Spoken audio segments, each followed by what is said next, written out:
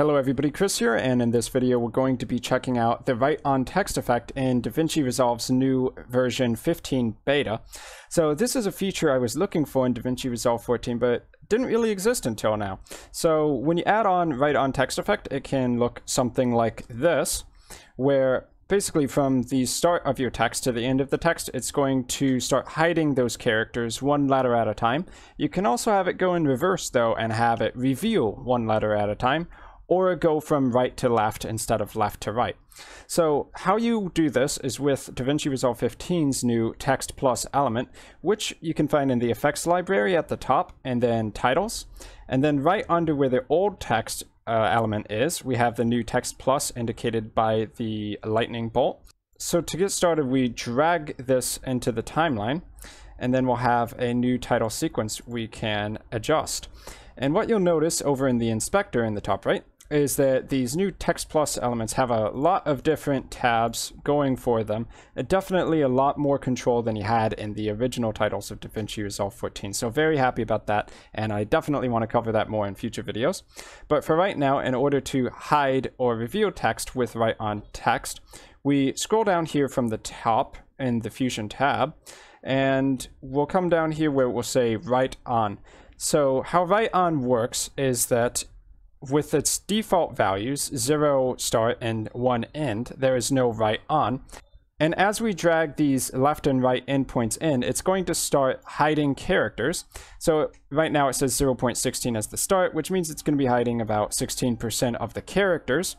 And if we do the same thing to the end, it's going to start removing characters, but from the right side instead of the left side.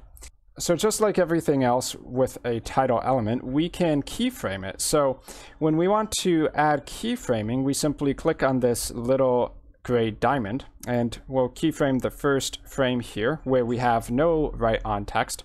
And then we could say go halfway over here and adjust the write on where we'll automatically add in a new keyframe. So let's say we wanted to go left to right, write on and 100%, then I would just drag the start over to the right and now if we play it back, it's going to look something like this.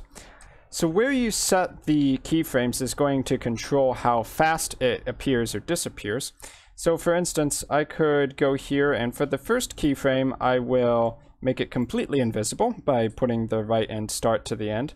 And then just a couple frames later, I'm going to uh, take this left endpoint and move that all the way back over to the left. So what this will be is a right to left write on. So the characters appear from the right to the left, and you'll be able to see that it goes a lot faster than this initial effect where the characters disappear. Obviously, I can reverse the direction just as easily by starting with the right endpoint on the left, going over a few frames, and then dragging that right endpoint back to the end, where this will write on from left to right, which is probably what most people are looking for, let's be honest. So a quick write on from left to right going on there. And so that's the gist of how the write on text effect works inside of DaVinci Resolve 15. Now, unfortunately, it does have to do one character at a time. I have been looking through the text plus element, but there doesn't quite seem to be a individual stroke by stroke write on text effect quite yet. But who knows, maybe if one of the people from the team watches this video, they'll add on stroke by stroke write on text in the future. So that's going to be it for this video in DaVinci Resolve 15. Obviously, I'm going to be making a lot more content as I personally explore the new version. So if you're into that, go ahead and subscribe, and I'll see you guys in my future video content.